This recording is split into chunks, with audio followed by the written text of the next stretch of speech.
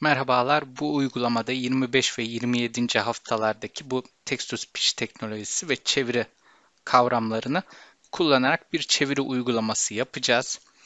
Ee, konuşmalarımızı e, ya da yazılarımızı konuşturarak ya da konuşmalarımızı yazıya çevirerek, dönüştürerek farklı dillere bir çeviri uygulaması yapacağız. Bunu aynısını PictoBlock'ta da yapabilirsiniz. Ancak PictoBlock'ta şu an konuşma tanıma e, işlemleri düzgün çalışmadığı için yani Artificial Intelligence kütüphanesindeki ses tanıma blokları e, ses çevirme işlemini yerine getirmediği için en blokta yapacağım aynısını dediğim gibi e, PictoBlock'ta da yapabilirsiniz. Belki sonraki aşamalarda çalışacaktır. Şimdi burada iki tane butonumuz olacak. Bizim bir şu butonu alalım. Bir tane daha buton ekleyelim. Bu da şöyle farklı bir buton olsun. Şu butonu alalım. Ya da aynı butonun rengini de değiştirebilirsiniz. Şimdi burada dil seçimi yapacağız. Blue'a tıkladım bu şekilde. Kostümlere girdim. Siyah renk seçile. Buraya İngilizce yazdım. Buraya geldik. Buna da Almanca çeviri yapsın. Şimdi kuklamıza döndük. Burayı kapattık. Diyorum ki boşluk tuşuna basıldığı zaman sürekli çalışmasını istemiyorum. Bana bilişsel hizmetler lazım, translate lazım buradaki ve text to speech kütüphaneleri lazım. Bu üçünü ekliyoruz. Diyorum ki 2 saniye boyunca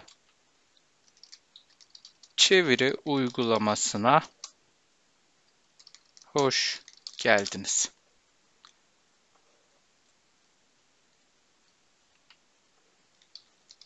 Konuşmayı çevirmek istediğiniz dile seçiniz. Şimdi İngilizce konuşmak isterse eğer bu kuklaya tıklasın ve burada bir değişken oluşturalım. Dil olsun. Değişkenin değerine 1 yapsın. Pardon 2 oldu. Aynı şekilde Almanca'ya atalım bunu. Almanca'da da gelmemiş. Şöyle. Almancayı seçelim.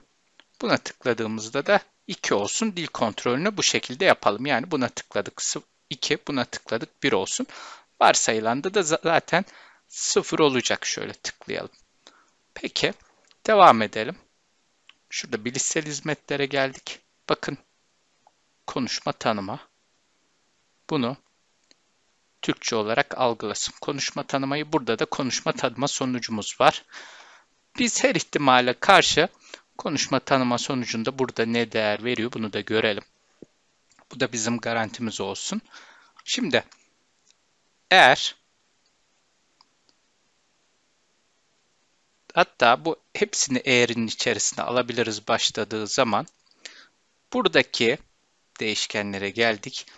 Dil değere eşittir 0 ise yani bir seçim yapılmadı ise başlangıçta 0 olacak. Hatta eğer ise değilse kullanmamız lazım. Eğer ise değilse. Dil sıfır ise lütfen dil seçimi yapınız desin.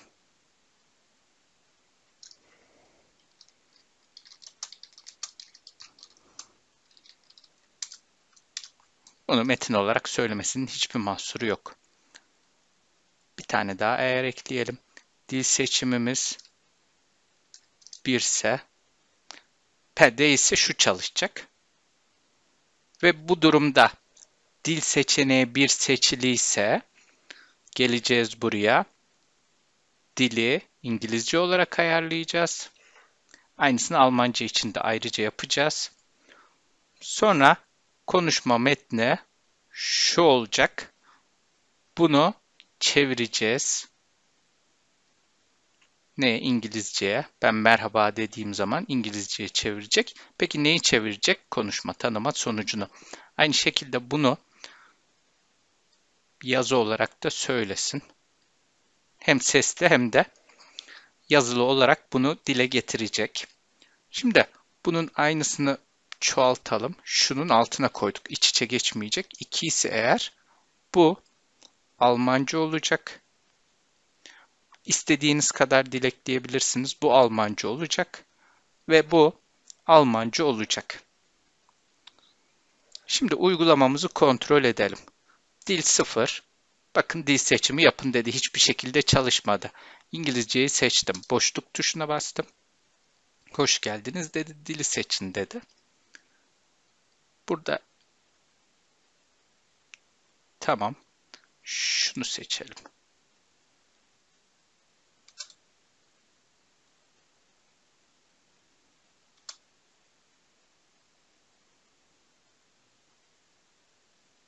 Merhaba.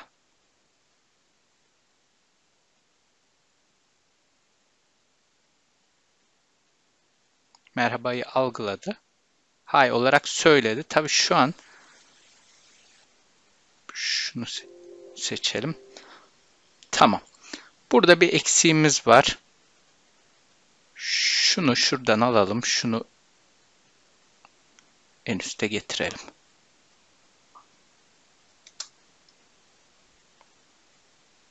Bir seçili. Merhaba, nasılsın?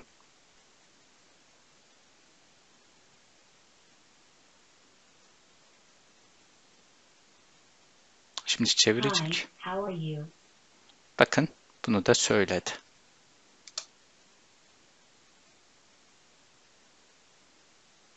Bugün günlerden ne?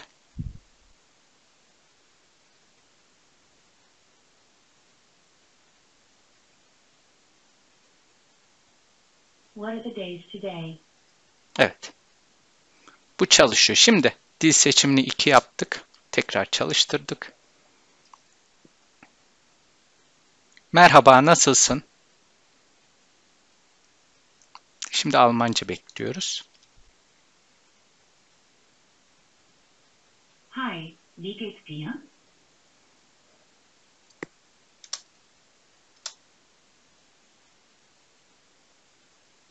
Bugün günlerden ne?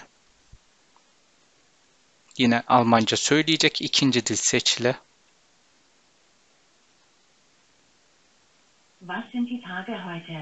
Evet. Bu şekilde dilediğiniz dile kadar çevirip bunu daha etkileyici hale getirebilirsiniz. Mesela e, İngilizce seçilince İngilizce bir karakter gelebilir. Almanca seçilince burada Almanca bir karakter görüntüleyebilirsiniz. Bunu nasıl yapacaksınız? Bu kuklaya tıklandığı zaman yine e, şu kostüme geç ya da haberini sal deyip bu e, kuklanın haber geldiği zaman kostüm değiştirmesini sağlayabilirsiniz.